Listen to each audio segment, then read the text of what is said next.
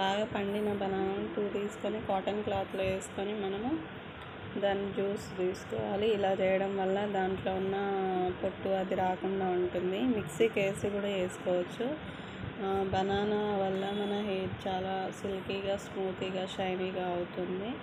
So weekly once ఇలా apply చేస్తే మన హెయిర్ డబల్ గ్రోత్ అవుతుంది. సో మీరు కూడా ట్రై చేయండి. ఎలా ఉందో చెప్పండి.